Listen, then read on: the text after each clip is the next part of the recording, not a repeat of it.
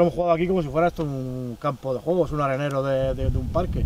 lo hemos, visto toda la vida y lo hemos visto tan normal, no teníamos esa sensación de peligro. Más de 30 años conviviendo con la contaminación de metales pesados en el llano del Beal y la situación no mejora. La lluvia sigue arrastrando residuos hasta el pueblo y ahora se encuentran con otro problema más. Que han creado diques de contención, que lo que esto, su función es retener todos esos arrastres, todos esos residuos.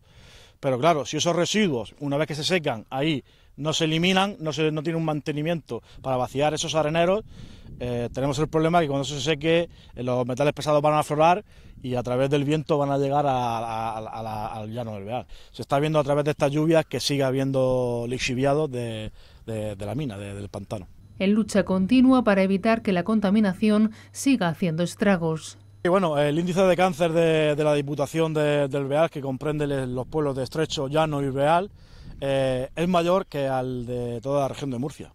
O sea, eso ya dice algo.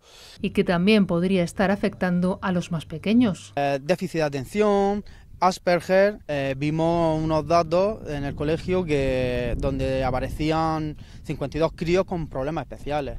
Entonces eso fue lo que nos llevó a nosotros a empezar esta lucha. Eh, empezamos a, pedir datos, a pedir a ver por qué podía ser eso y claro, todo apuntaba a la zona donde vivíamos, que era una zona minera. Piden a las administraciones que busquen la fórmula para descontaminar la sierra minera en lugar, dicen, de seguir poniendo parches.